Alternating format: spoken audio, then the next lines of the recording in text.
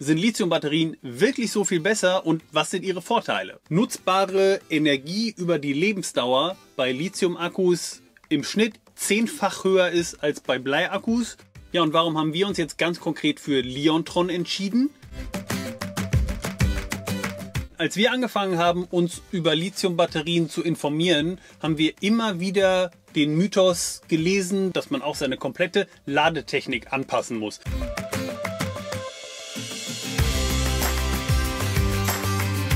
Moin und hallo, ich bin Dirk von Let's Get Otter hier und heute geht es um dieses Teil hier, eine 200 Ampere-Stunden Lithium-Eisenphosphat-Batterie von Liontron, die genau unter den Fahrersitz des Fiat Ducato passt. Aber warum bauen wir uns überhaupt eine Lithium-Batterie ein und warum ganz konkret diese hier von Liontron? Die beiden Fragen will ich in diesem Video klären und dann will ich euch noch zeigen, ist der Einbau der Batterie tatsächlich so einfach und will auf die Frage eingehen, ob man beim Wechsel von AGM auf Lithium tatsächlich seine komplette Ladetechnik austauschen muss. Aber bevor wir das machen, hier noch kurz die Gliederung dieses Videos, damit ihr wisst, was auf euch zukommt. Im ersten Abschnitt will ich ganz kurz erklären, was an Lithium-Akkus, beziehungsweise ganz konkret an Lithium-Eisenphosphat-Akkus so toll ist und auch was nicht so toll ist. Im zweiten Abschnitt will ich euch erzählen, warum wir uns ganz konkret für diesen Hersteller, nämlich Liontron, entschieden haben. Im dritten Teil zeige ich euch den Ausbau unserer beiden bisherigen AGM-Batterien und den Einbau eben dieser Untersitzbatterie. Und zu guter Letzt gehe ich im vierten Abschnitt darauf ein, ob man tatsächlich beim Upgrade auf Lithium auch seine komplette Ladeelektronik mit austauschen und upgraden muss. Wie immer bei uns haben wir das Video wieder in entsprechende Kapitel unterteilt und Zeitstempel gesetzt, sodass ihr an die jeweiligen Stellen springen könnt, wenn euch nur ein Teil davon interessiert. So, und jetzt legen wir los. Sind Lithiumbatterien wirklich so viel besser und was sind ihre Vorteile? Für uns sind das ganz konkret vier Sachen, die da hervorstechen. Zuallererst ihre deutlich höhere nutzbare Kapazität. Während man gewöhnliche Bleiakkus nur bis etwa 50 Prozent ihrer Kapazität entladen sollte, um ihre Lebenserwartung nicht dramatisch einzuschränken, macht es Lithium-Akkus im Grunde überhaupt nichts aus, auch bis 90 Prozent oder über 90 Prozent ihrer Kapazität entladen zu werden. Für uns bedeutet das ganz konkret, dass wir durch den Austausch unserer 200 Ampere-Stunden AGM-Batterie gegen die 200 Ampere-Stunden Lithium-Batterie unsere tatsächlich nutzbare Kapazität verdoppeln. Und warum es wirklich verdoppeln und nicht nur fast verdoppeln ist, erkläre ich gleich. Und obwohl wir die nutzbare Kapazität verdoppeln, sparen wir sogar an Gewicht. Denn 200 Ampere AGM Batterien oder zweimal 100 Ampere Stunden AGM Batterien, wie wir es haben, wiegen gut und gerne mal 50, 60 Kilo. Das Teil hier wiegt 26,5 Kilo. Da haben wir also allein durch den Wechsel mal locker 30 Kilo Gewicht gespart. Den meisten von euch dürfte es klar sein, Gewicht im Wohnmobil ist ein ganz, ganz entscheidendes Thema. Die dreieinhalb Tonnen Grenze schwebt immer über einem. Lithium hilft da sehr. Der dritte Punkt, Lithiumbatterien können sehr viel höhere kontinuierliche Entlade- und Ladeströme vertragen als herkömmliche Bleibatterien. Die hier verträgt zum Beispiel konstant 100 Ampere Ladung und 150 Ampere Entladung. In der Spitze sogar maximal bis 150 Ampere Ladung und 200 Ampere Entladung. Was das bedeutet, mit dem Teil kann man ganz entspannt auch große Wechselrichter betreiben und auch Verbraucher betreiben, die sehr viel Strom brauchen. Für uns aber noch viel relevanter ist, dadurch, dass sie höhere Ladeströme vertragen können, kann man das Teil sehr viel schneller, sehr viel effizienter wieder aufladen und dadurch eben noch länger autark stehen. Und dann ganz klar Langlebigkeit, denn moderne Lithium-Eisenphosphat-Akkus stecken inzwischen locker mehrere tausend Ladezyklen weg.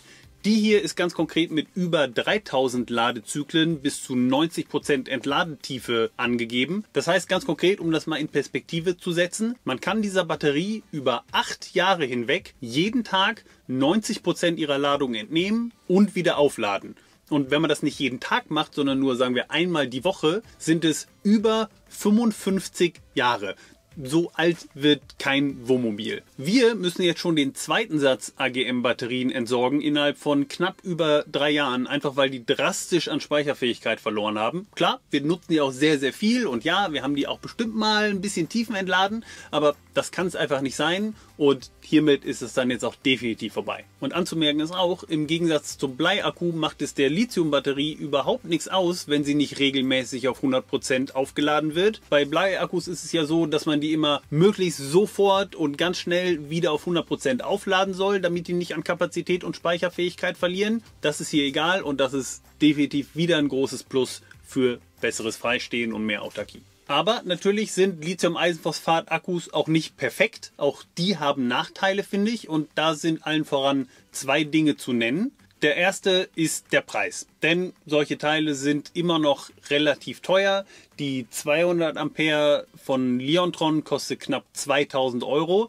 Das ist eine richtige Stange Geld. Es gibt auch günstigere Anbieter, wobei man da dann entsprechend schauen muss, was man bekommt. Ich denke, 2000 Euro ist schon das, womit man rechnen muss bei einer qualitativ hochwertigen Batterie. Und das, wie gesagt, muss man ja auch erstmal aufbringen können. Gar keine Frage, ist ein sehr hohes einmaliges Invest. Aber langfristig gesehen ist es total lohnenswert, denke ich, weil Bleibatterien, die halten vielleicht 800 Zyklen.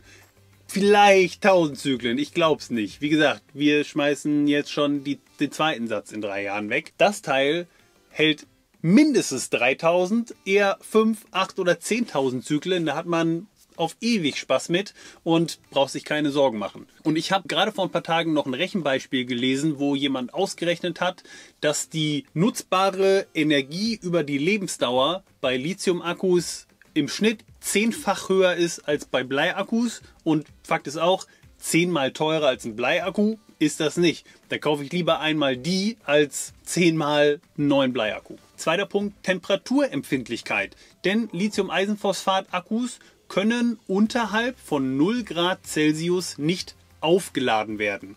Sie können bis minus 20 Grad Strom abgeben und normal benutzt werden, aber aufgeladen werden können sie nur bei über 0 Grad Celsius. Es gibt da Lösungen für, es gibt integrierte Heizmatten, das heißt dann häufig irgendwie Arctic-Version, gibt es auch von Leontron, äh, gibt es auch nachrüstbar, aber wir haben uns dagegen entschieden, weil das kostet natürlich auch einen kleinen Aufpreis und wir sind der Meinung, wir brauchen das nicht, weil bei uns kommt sie ja gleich unter den Sitz, ist also im Innenraum des Fahrzeugs und hier werden es einfach niemals unter 0 Grad, während wir sie aufladen wollen. Es kann theoretisch sein, dass es mal 0 Grad sind und wir sie benutzen wollen, sprich um die Heizung anzufeuern, aber dass es unter 0 Grad ist und wir die Batterie aufladen wollen, ist für uns einfach kein relevanter Faktor. Aber es mag Anwendungsfälle geben, wo das relevant ist. Zum Beispiel, wenn man einen externen Batteriekasten hat, die Batterie also nicht im Innenraum des Fahrzeugs ist, dann sollte man sich der Tatsache bewusst sein und im Zweifel einfach eine Variante mit Heizmatten kaufen, dann ist man auf der sicheren Seite. Für uns überwiegen ganz klar die Vorteile. Ich finde, Lithium-Akkus sind Bleiakkus einfach in nahezu allen Belangen überlegen. Einzige Ausnahme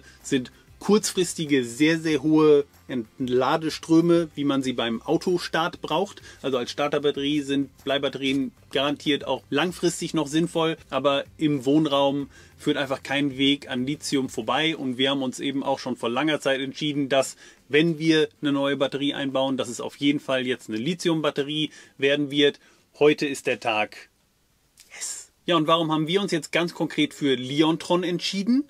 Einer der größten Pluspunkte von Leontron ist meiner Meinung nach die Tatsache, dass deren Batterien komplett modular aufgebaut sind und die Einzelteile nur miteinander verschraubt sind, aber nicht verklebt und verlötet. Das betrifft sowohl das Case, hier sind einfach nur vier Schrauben, die ohne Spezialwerkzeug geöffnet werden können und geht aber innen drin weiter. Also selbst die Batteriezellen, das BMS, die sind alle nur miteinander verschraubt, was natürlich den großen Vorteil hat, dass man die einzelnen Bauteile modular austauschen kann. Wenn also irgendwann mal irgendwas kaputt gehen sollte, muss nur ein Einzelteil getauscht werden und nicht die komplette Batterie ersetzt werden. Das vor allem natürlich relevant für die Zeit nach Ablauf der Garantie, aber bis man sich überhaupt das erste Mal darüber Gedanken machen muss, hat man erstmal fünf Jahre Zeit. Denn als Zeichen dafür, dass Leontron in die Qualität ihrer verbauten Komponenten vertraut, geben sie fünf Jahre freiwillig Garantie. Und sollte doch irgendwann mal ein Bauteil den Geist aufgeben, muss man sich nicht mit irgendwelchen China-Händlern rumschlagen, sondern hat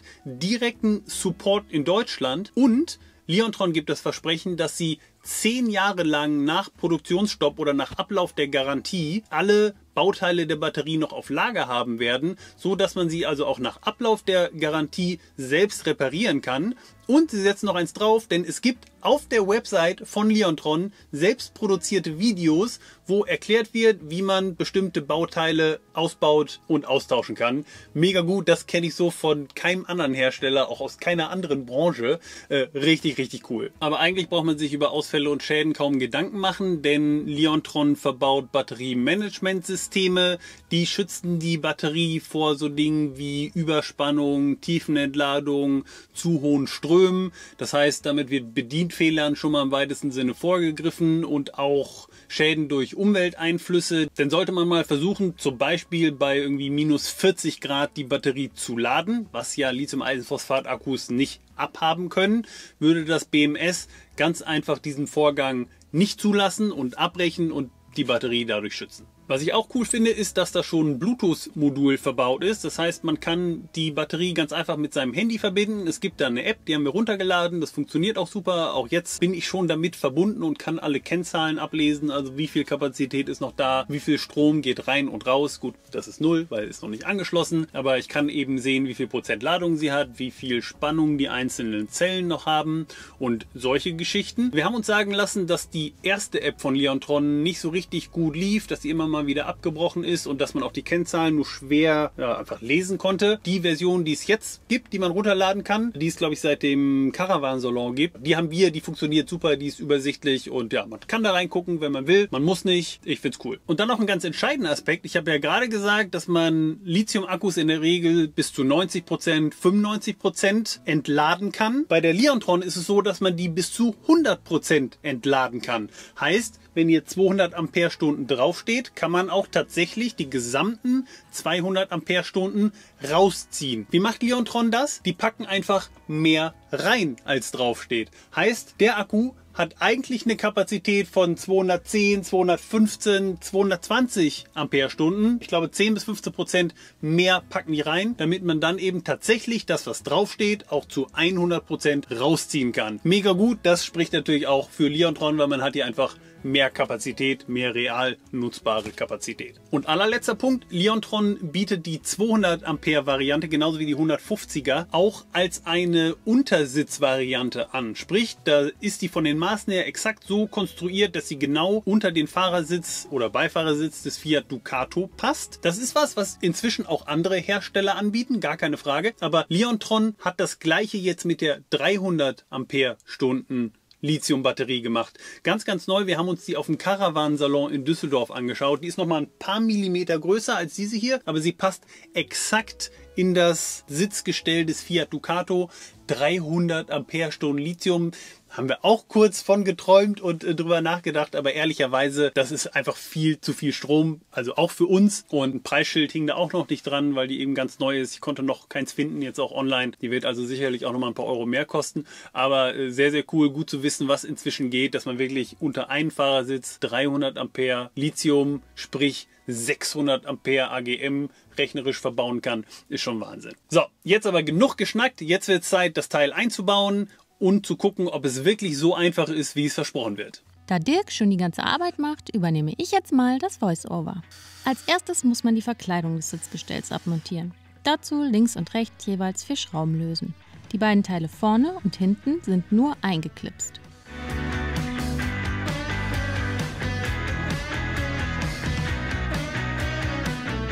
Dann geht es an den Sitz selbst. Den kann man zusammen mit der Drehkonsole herausnehmen.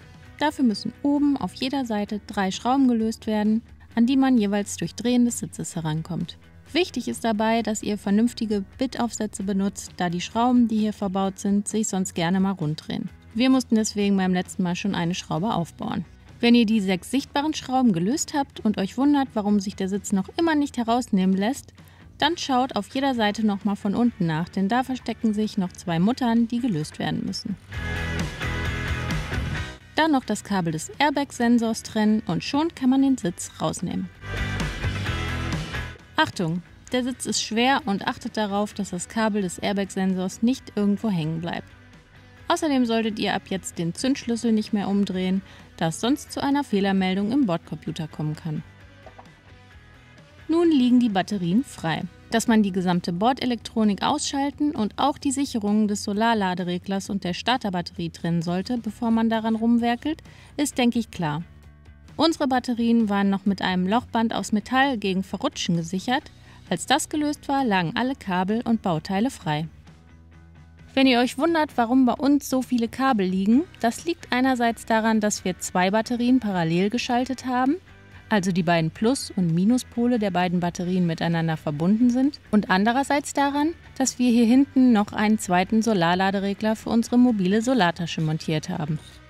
Jetzt kommt sicherlich der Punkt, der für viele eine innerliche Hürde darstellt, an die Batteriepole ranzugehen. Und gesunde Vorsicht ist da auch definitiv erstmal richtig. Aber wenn man die einfachsten Dinge beachtet, kann man da eigentlich gar nicht so viel falsch machen. Wichtig ist zum einen, dass man beim Ausbau immer erst die Kabel vom Minuspol trennt und erst dann die Kabel vom Pluspol. Beim Einbau entsprechend andersrum, da erst Plus verbinden und dann Minus. Und dass man andererseits die Pole nicht vertauscht. Sprich, Pluskabel gehören nur an den Pluspol und Massekabel gehören nur an den Minuspol. Dirk ist immer doppelt vorsichtig und deckt alle offenen Kabelenden mit einem Stück Schrumpfschlauch ab, damit es wirklich nirgendwo zu einem Kontakt oder Kurzschluss kommen kann. Und als alle Kabel gelöst und gesichert waren, konnten wir die beiden Batterien einfach rausnehmen. Bei knapp 30 Kilogramm pro Stück ein ganz schöner Kraftakt.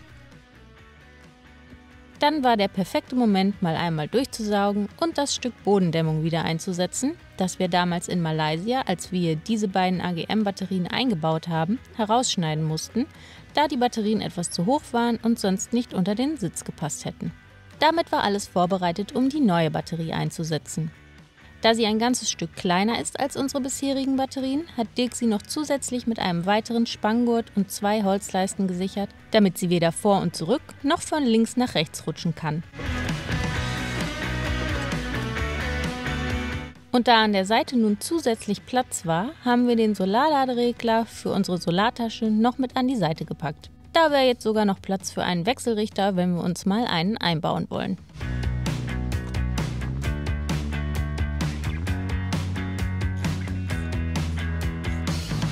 Nachdem die Batterie gesichert war, ging es ans Anschließen.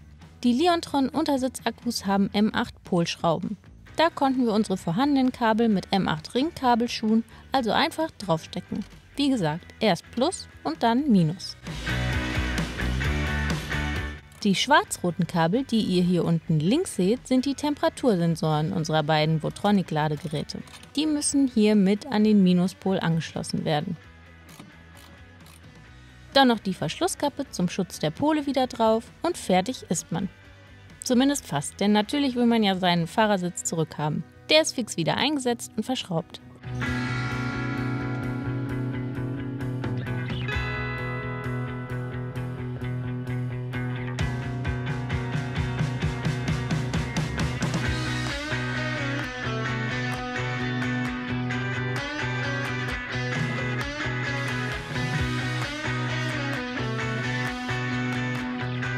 Zuletzt noch die Verblendung wieder an das Sitzgestell und der Umbau ist erledigt. Kurzer Test, ob alles klappt. Perfekt. So, jetzt noch ein paar Worte zum Abschluss, denn jetzt ist ja die große Frage, können wir unsere Ladegeräte und Ladebooster, die wir ja schon eingebaut hatten, weiter nutzen oder brauchen wir spezielle Geräte mit einer Lithium-Ladekennlinie. Als wir angefangen haben, uns über Lithium-Batterien zu informieren, haben wir immer wieder den Mythos gelesen, davon gehört, dass man, wenn man sich eine Lithium-Batterie einbaut, dass man auch seine komplette Ladetechnik anpassen muss. Dass man also spezielle Ladegeräte braucht, einen speziellen Ladebooster braucht. Und dem wollten wir natürlich auf den Grund gehen und haben das ausführlich recherchiert. Wir haben uns unterschiedlichste Hersteller angeschaut und ja, unser Fazit, was wir daraus ziehen, ist im Grunde Nein, smarte Lithium-Eisenphosphat-Batterien mit integriertem Batteriemanagementsystem kommen mit unterschiedlichen Ladekennlinien, mit unterschiedlichen Ladespannungen und damit mit unterschiedlichen Ladegeräten klar. Und in fast allen Fällen kann man sein vorhandenes Ladegerät weiter nutzen. Bei Leontron auf der Webseite heißt es dazu ganz konkret und ich zitiere jetzt, damit ich keine Fehler mache. Moderne Lithium-Eisenphosphat-Batterien wie die Leontron können mit jedem beliebigen 12 Volt Bleiladegerät mit einer Ladeschlussspannung zwischen 14,2 Volt und 14,6 Volt geladen werden. Selbst ein uraltes 13,8 Volt Ladegerät aus der ersten Generation von 12 Volt Bleibatterien kann eine Lithiumbatterie laden. Dabei wird sie zwar beispielsweise nur bis zu 90 Prozent vollgeladen, aber dies schadet der Batterie überhaupt nicht. So, das klingt ja erstmal gut, würde ich sagen, und klingt so danach, als müsste man sich überhaupt keine Gedanken machen und könnte einfach jedes Ladegerät nehmen. Aber das stimmt nicht, denn wenn man genau hinschaut, zeigen sich vor allem drei Einschränkungen. Die erste Erkenntnis ist, zu geringe Ladespannungen sind in Ordnung, aber zu hohe Ladespannungen, also alles, was über 14,6 Volt geht, ist nicht in Ordnung. Und es gibt eben Ladegeräte, die Kennlinien haben, die über 14,6 Volt liefern. Das muss man sich eben anschauen, dass man ein solches nicht verwendet. Sollte man das verwenden, ist es auch nicht schlimm, weil das BMS automatisch abschaltet und sagt, nein, das ist zu viel, ich mache hier Selbstschutz, ich lasse diese Ladung gar nicht zu. Aber dann ist einem natürlich auch nicht geholfen, weil man will die Batterie ja laden. Deswegen ein Ladegerät nehmen, was eine Ladeschlussspannung von unter 14,6 Volt hat. Zweite Einschränkung ist, man darf kein Ladegerät nehmen, was ein sogenanntes Desulfatierungsprogramm abfährt. Was das ist, das ist im Grunde ein Programm, was man nutzen kann, wenn man eine bereits tiefenentladene Bleibatterie hat. Dann kann man da mit richtig hoher Spannung nochmal versuchen, den Ladewiderstand aufzubrechen und da doch nochmal wieder Strom reinzupumpen. Das ist also im Grunde eine Erweiterung des ersten Punktes.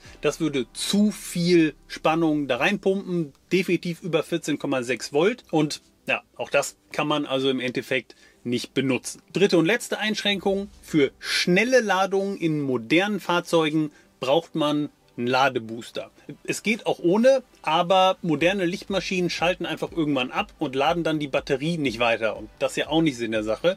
Und dafür braucht man dann einen Ladebooster, was im Grunde ein Gerät ist, was der Lichtmaschine vorgaukelt oder anzeigt. Hier ist noch ein Gerät, was Strom braucht produziere weiter Strom, pump ordentlich was in die Batterie und dann kann eben die Lithium-Batterie auch schnell geladen werden. Heißt, Booster in modernen Fahrzeugen Pflicht. Die allermeisten Modelle ab 2018, also fertig ausgebaute Wohnmobile, haben eh einen Ladebooster drin, wenn ich das richtig verstanden habe. Wir hatten noch keinen haben den schnell nachgerüstet. Auch sowieso schon, auch mit der alten AGM hat er Sinn und gut ist. Das sind alles Dinge, die kein Hexenwerk sind. Im Grunde muss man nur sicherstellen, dass man kein Ladeprogramm nutzt, das mit zu viel Spannung arbeitet. Bei unserer Batterie ist die maximale und gleichzeitig optimale Ladeschlussspannung mit 14,4 Volt angegeben. Und wenn ich jetzt ein Ladegerät habe, das keine Lithium-Eisenphosphat-Kennlinie hat, kein Ladeprogramm dafür hat, dann nehme ich eben das, was am nächsten dran ist. In unserem Fall könnte ich also ganz entspannt die Einstellung AGM 1 nehmen und die Batterie wäre damit fein. AGM 2 hingegen